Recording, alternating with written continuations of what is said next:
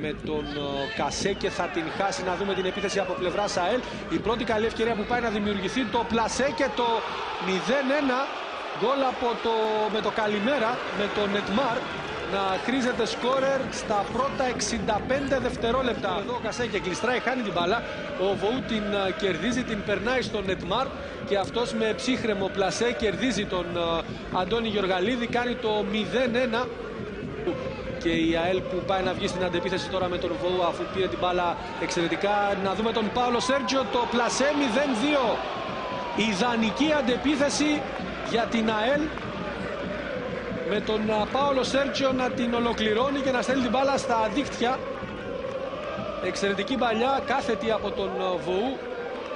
Ο Πάολο Σέρτζιο ξανά η πολύ όμορφη παλιά στην πλάτη της άμυνας. Ο Πάολο Σέρτζιο Σίτνεϊ εκεί και αερόσα μονομαχούν ο παίκτης της ΑΕΛ κάτοχος της μπάλας τώρα για τον Πάολο Σέρτζιο. Πολύ όμορφη παλιά και τα κουνάκι για τον Αϊρόσα. Η σέντρα σουτ δεν μπορεί όμως ο Νικολάου εκεί να κάνει το πλασέ. Ανεβαίνει όλη η αλκή τώρα. Κάθε την παλιά είναι καλή. Η σέντρα που γίνεται στο λίγο πιο πίσω να δούμε τον Άσπας που επιχειρεί το σουτ γκολ 1-2 από την Αλκή σε αυτή την οργανωμένη επίθεση. Την παλιά εξαιρετική από τον Σάντα Μαρία στο ξεκίνημα της φάσης.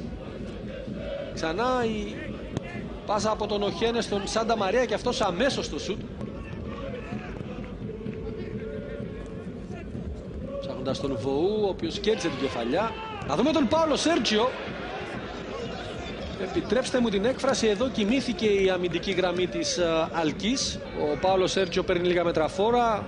Με πολύ φάλτσο η κεφαλιά που γίνεται και μπάλα περνάει out. Κεφαλιά από τον Βοού.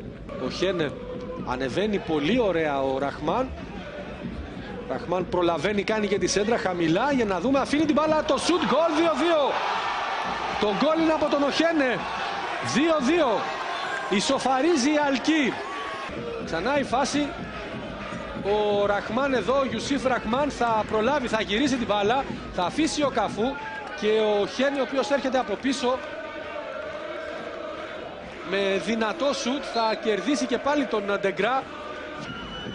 Πέρασε για τον Ραχμάν ο οποίος επιχειρεί το σουτ σταματάει στο σώμα του Ντεγκρά. Συνεχίζεται όμως η φάση. Να δούμε τον Οχένε στην περιοχή. Για τον Καφού επιχειρεί το σουτ. Ο Ντεγκρά θα διώξει σε κόρνερ Κασέκε, ο Βοού κερδίζει πέρασε την μπάλα για τον Μοντέιρο βγαίνει Γιοργαλίδης και απομακρύνει με αυτοθυσία Κασέκη απομακρύνει.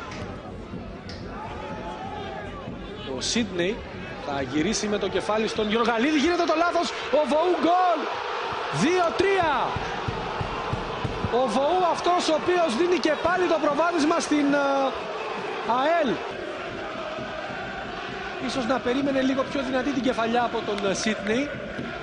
Δεν υπολόγισε καλά και την πορεία της μπάλας ο Σίτνεϊ.